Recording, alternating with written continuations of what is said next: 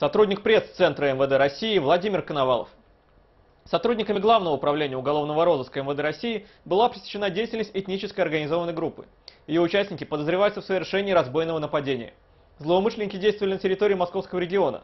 Так, в сентябре прошлого года в Южном округе Москвы подозреваемые совершили разбойное нападение на помощника депутата Государственной Думы Российской Федерации, в ходе которого завладели автомобилем потерпевшего. По данному факту было возбуждено уголовное дело по статье «Разбой».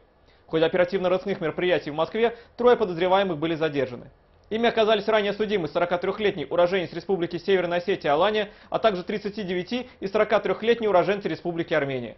При проведении обысков по местам проживания задержанных обнаружены и изъяты пистолет системы Макарова со снаряженным магазином, незарегистрированное гладкоствольное ружье, 40 патронов к нему, а также ключи и документы на автомашину, похищенные в ходе разбойного нападения.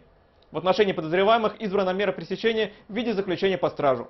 Комплекс оперативно-следственных мероприятий продолжается.